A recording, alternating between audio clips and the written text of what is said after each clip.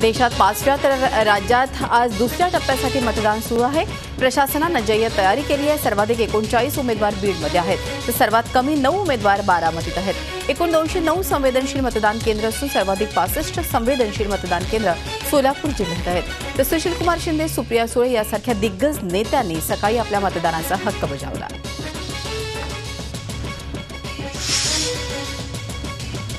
पश्चिम महाराष्ट्र मराठवाडा आणि कोकणातल्या रत्नागिरी सिंधुदुर्ग अशा एकोणीस मतदारसंघांमध्ये मतदान सुरू झालं आहे. मराठवाड्यातल्या सहा तर पश्चिम महाराष्ट्रातल्या बारा जागांवर आज मतदान होत आहे केंद्रीय गृहमंत्री सुशीलकुमार शिंदे माजी मुख्यमंत्री अशोक चव्हाण भाजपचे ज्येष्ठ नेते गोपीनाथ मुंडे शरद पवार यांच्या कन्या सुप्रिया सुळे पद्मसिंग पाटील डॉक्टर निलेश राणे आदी दिग्गज नेते या टप्प्यात निवडणूक रिंगणार आहेत. यासोबत देशभरात तेरा राज्यातल्या एकशे एकवीस मतदारसंघांमध्ये अनेक ठिकाणी मतदानाला सुरुवातही झाली आहे. सोलापूरमध्ये सुशीलकुमार शिंदे आणि त्यांच्या कन्या प्रणिती शिंदे यांनी आपल्या मतदानाचा हक्क बजावला. यावेळी त्यांनी माझ्या मतदारसंघात नरेंद्र मोदींचा नाही तर शिंदेंचा प्रभाव आहे असं म्हणत मोदींवरती टीका केली. 1974 से लड़ता हूँ ने मुझे साथ दिया है मेरे यहाँ दस इलेक्शन हो गए हैं।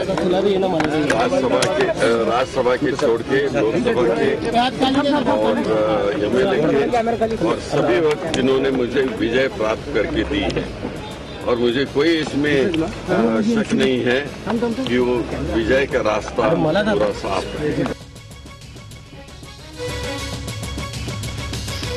बारामतीमधील राष्ट्रवादी काँग्रेसच्या उमेदवार सुप्रिया सुळेंनी मतदानाचा हक्क बजावला. आपण बघू शकतो सुप्रिया सुळे या अर्थातच बारामतीच्या उमेदवार आहे आणि अगदी सकाळी सात वाजल्यानंतर लागलीच त्यांनी आपल्या मतदानाचा हक्क बजावला. गेले अनेक वर्ष या रिमांड होममध्ये. जेव्हापासून मी मतदान करते रिमांड होमला करते आज. आणि त्याच्यामुळे अर्थातच आमच्यासाठी हे एक नेहमीची गोष्ट. अनेक वर्ष इथेच मतदान करते मी. सगळ्या विरोधकांना आव्हानच समजते आणि फार सिरियसली घेते. पुण्यातील महाराष्ट्र नवनिर्माण सेनेचे उमेदवार दीपक पायगुळे यांनी आपल्या मतदानाचा हक्क बजावला. पुण्यामध्ये काँग्रेसचे विश्वजित कदम भाजपचे अनिल शिरोळे आणि मनसेचे दीपक पायगुडे अशी तिरंगी लढत रंगणार आहे मी पुणेकरांना आव्हान करतो की पुण्याची एक वेगळी संस्कृती आहे. पुण्यातनं जे पिकतं ते देशभर विकलं जातं. तर पुणेकरांना असं आवाहन करतो की आपण सगळ्यांनी शंभर टक्के मतदान करा. या निवडणुकीमध्ये देशभर असा मेसेज गेला पाहिजे की पुणेकरांनी शंभर टक्के मतदान केलं. पण महाराष्ट्र नवनिर्माण सेनेचा मी पहिला खासदार होईल असं मला वाटतं. कर्नाटकातल्या शिमोगा मतदारसंघात माजी मुख्यमंत्री आणि ज्येष्ठ भाजप नेते बी एस येडियुरप्पा यांनी मतदान केलं. कर्नाटकात शिमोगाची लढत लक्षवेधी असून या लढतीकडे सगळ्यांचंच लक्ष लागलं.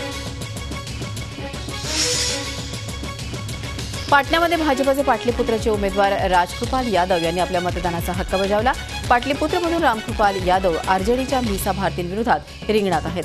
पाटलीपुत्रमधून त्यांना उमेदवारी न मिळाल्यामुळे त्यांनी आरजेडीमधून भाजपमध्ये प्रवेश केला होता. कोल्हापूर आणि हातकणंगले लोकसभा मतदारसंघात मतदानाला सुरुवात झाली आहे. केंद्रावर कोणताही अनुचित प्रकार घडू नये यासाठी चार हजार सहाशे बेचाळीस पोलीस तैनात करण्यात आले कोल्हापूर लोकसभा मतदारसंघात एकशे एकोणतीस मतदान केंद्र ही संवेदनशील असून हातकणंगले लोकसभा मतदारसंघात चौऱ्याहत्तर मतदान केंद्र संवेदनशील आहेत. कोल्हापूर लोकसभा मतदारसंघातील एकूण पंधरा उमेदवार आपलं नशीब आजमावत आहेत तर हातकणंगले लोकसभा मतदारसंघासाठी तेरा जण निवडणूक रिंगणात आहेत.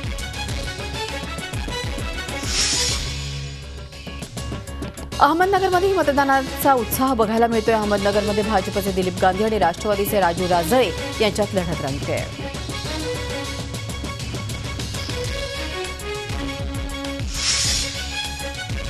आज पुण्यात मतदान सुरू झालंय. पुणे जिल्ह्यात पुण्यासह मावळ शिरूर आणि बारामती या चार मतदारसंघांमध्ये मतदान होत आहे पुणे मतदारसंघातले अठरा लाख तेहतीस हजार सहाशे एकोणसाठ मतदार मावळमध्ये सोळा लाख मतदार शिरोळमधले अठरा लाख वीस हजार चारशे चोवीस हजार मतदार आणि बारामती मतदारसंघातले अठरा लाख नऊ हजार नऊशे वीस मतदार मतदानाचा हक्क बजावणार आहेत. त्यासाठी सात हजार दोनशे अठ्ठावन्न मतदान केंद्र तयार आहेत.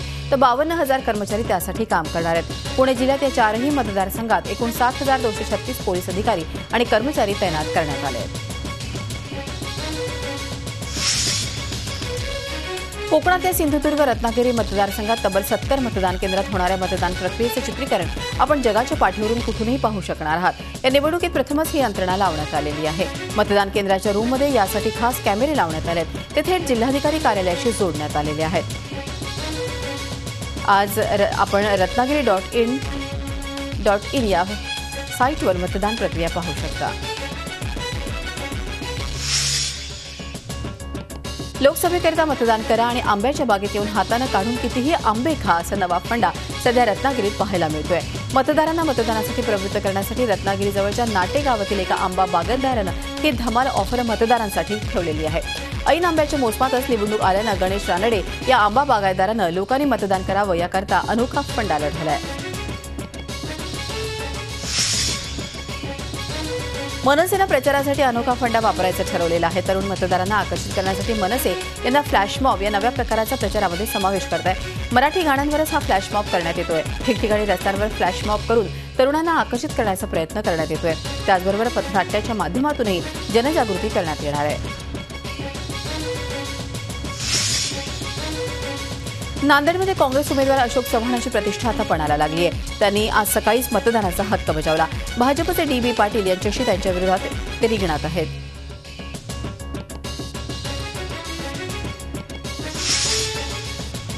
संगमेश्वर तालुक्यातल्या कडवईमधल्या उसगावकरवाडी या ठिकाणी रात्री दोन वाजता राष्ट्रवादीच्या कार्यकर्त्यांनी शिवसेना उपसभापती संतोष थेराडे आणि उपविभाग प्रमुख वसंत उसगावकर यांच्यावरती हल्ला केला. या हल्ल्यात वसंत उसगावकर जखमी झाले असून त्यांना रुग्णालयात दाखल करण्यात आलाय. हा हल्ला काँग्रेस आणि राष्ट्रवादीच्या कार्यकर्त्यांनी केलेला आहे. राष्ट्रवादीचे कार्यकर्ते राजन कापडी माजी जिल्हा परिषद बांधकाम सभापती आणि राजेंद्र सुर्वे जिल्हा बँकेचे संचालक यांना पोलिसांनी अटक केली आहे. या प्रकरणामुळे कडवईमध्ये वातावरण तंग असून पोलीस बंदोबस्तात वाढ करण्यात आली आहे. रत्नागिरी सिंधुदुर्गमध्ये उद्योगमंत्री नारायण राणे विरुद्ध शिवसेना वादाला फोडणी मिळाली आहे. शिवसेना उमेदवार विनायक राऊत यांनी त्यांच्या शैक्षणिक पात्रतेच्या आरोपांना दोन बायका असल्याच्या आरोपांना आणि आम्ही केलेल्या तक्रारींना उत्तर दिलेलं नाही. राऊत हे स्त्री लंपट आहेत अशी वैयक्तिक टीका राणेंनी केली आहे. तर राणेंचा आणि शिक्षणाचा संबंध काय असा सवाल करत कोकणातील राणेची विकृती संपवण्याची वेळ आता आली आहे असा पलटवार विनायक राऊत यांनी केला आहे. राष्ट्रवादीचे छगन भुजबळ आणि सिंदरकर यांच्यातील वाद संपुष्टात आणण्यासाठी बोलवलेल्या मेळाव्यात स्थानिक राष्ट्रवादी आणि काँग्रेसमधील असंतोषच उफाळून आलेला आहे. आमदार माणिकराव कोकाटे यांनी भुजबळांना पाठिंब्याचं आवाहन करताच कोकाटे समर्थकांनी सभा उधळून लावण्याचा प्रयत्न केला. सिंदरकरांनी भुजबळांविरोधी राग व्यक्त करताच भुजबळांनाही परत फिरावं लागलं. कार्यकर्त्यांनी सर्व नेत्यांच्या समोर अब की बार मोदी सरकार घोषणा दिल्यामुळे नेते सुन्न झाले.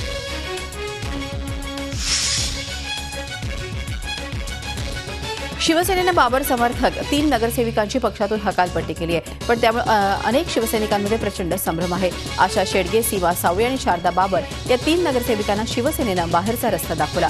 श्रीरंग बारणे यांना तिकीट मिळाल्यानंतर या नगरसेविकांनी प्रचारातही कुठला सहभाग नोंदवला नव्हता. त्यामुळे शिवसेनेच्या श्रीरंग बारणे यांना या कारवाईचा फायदा होणार की तोटा याची चर्चा आता सुरू झाली आहे.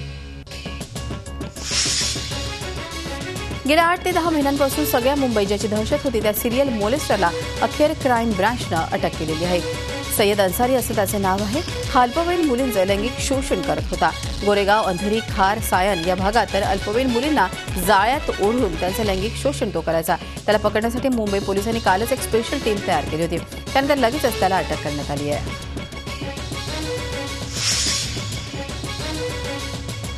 म्हाडाच्या घरांसाठीची ऑनलाईन नोंदणीला स्थगिती देण्यात आली आहे. निवडणुका सुरू असताना राज्य निवडणूक आयोगानं या नोंदणीला आक्षेप घेत आहे. त्यामुळे मुंबईकरांच्या घरांचं स्वप्न आता लांबलंय. दुसरीकडे मुंबईचा स्पीड आणखी ज्यामुळे वाढला असता तो सांताक्रूज चेंबूर लिंक रोडचं उद्घाटन दोन तीन दिवसात होणार होतं. पण निवडणुकांमुळे तेही लांबलं आहे पण या दोन बातम्यांनंतर मुंबईकरांसाठी दिलासादायक बातमी म्हणजे मुंबई मेट्रोसाठीच्या सुरक्षेची तपासणी अठरा एप्रिलपासून सुरू होणार आहे. सध्या अग्निशमन सेवा सप्ताह सुरू आहे. या निमित्तानं महाराष्ट्र सरकारकडून एक मॉकड्रिल स्पर्धा घेण्यात आली. यामध्ये राज्यभरातून अठरा टीम्सचा सहभाग घेतला आणि विशेष म्हणजे यंदा पहिल्यांदाच महिला टीमही सहभागी झाल्या होत्या. अग्निशमनसारख्या क्षेत्रातल्या या दिमागदार स्पर्धांमुळे पुरुषांचं वर्चस्व असलेल्या या भागात आता महिलाही जोमानं काम करू लागल्याचं पुन्हा एकदा या निमित्तानं पाहायला मिळालं. गोदावरीचं प्रदूषण रोखण्यास स्थानिक यंत्रणा अपयशी ठरल्यानंतर पर्यावरण प्रेमींनी हायकोर्टाचा दरवाजा ठोठवला आहे.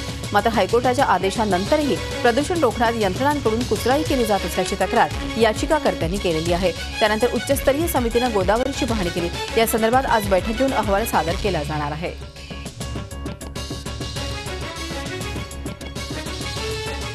या होत्या राज्यातल्या काही महत्त्वाच्या बातम्या. आता बघूया देश विदेशातल्या काही महत्त्वाच्या बातम्या. झटपट.